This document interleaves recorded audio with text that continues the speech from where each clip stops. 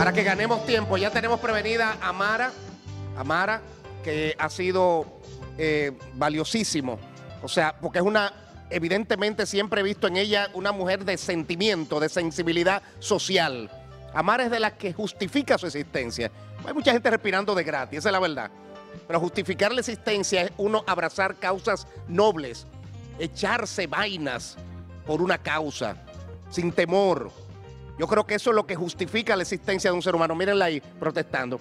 Eso viene en brevito y vamos a tener también al policía dominicano eh, en la ciudad de Nueva York, que ha estado, ya lo tenemos ambos prevenidos. Eh, vamos a ver esto de Teodoro Escaño, mírenlo ahí, orgullo de la República Dominicana. Sí, déjame, antes de, es- eh, Sargento, Sargento, ¿está por ahí? Dígame. No se Eh, me va, no se me vaya, yo sé que esto es complicado, pero vamos con usted. Adelante, Iván, era para avisarle que no se me fuera a ir. Ya, ya vamos con usted. No Este Sí. formato es complicado, por eso nos meten vaina a veces.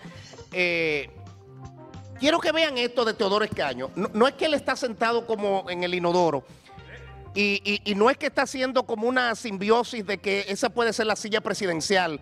Eh, y no es que él quiera con un papel como decir muchas... Vean esto mejor, lo que Teodoro quiere decirnos.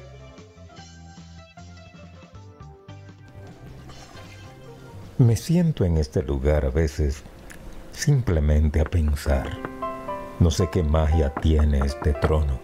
Quizás porque es un sitio en la casa donde nadie puede entrar sin avisar. Donde puedo ser yo mismo y sé que nadie me está mirando. Solo espero que no me pase como a San Agustín que estaba orando en el baño y llega el diablo y se burla diciendo, qué falta de respeto a Dios orar en este lugar.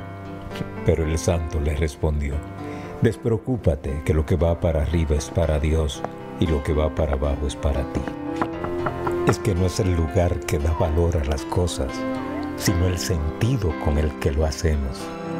Así que no se escandalice por verme sentado aquí, que no es el traje que hace al monje y mucho menos el lugar donde está sentado. Que lo sepan todos los que quieren ser presidentes. Esta es tu telerrealidad. Muy buena esa por Teodoro, hermanito. genio, muy genio, buena. Definitivamente. Señores, Teodoro un nos genio, prepara un eso. genio. Es una de las adquisiciones que tuvimos en la cuarentena diariamente.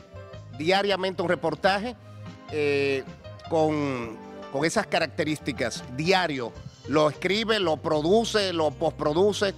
Ese es Teodoro Escaño. Bueno, vámonos dos, dos con personas este que se han crecido, ¿Ah? dos personas que se han crecido, que no son de los talentos que están aquí. Handry y Teodoro. y Teodoro. Sí. Le dan una profundidad al programa. Handry Santana y Teodoro Escaño, orgullo de la telerrealidad.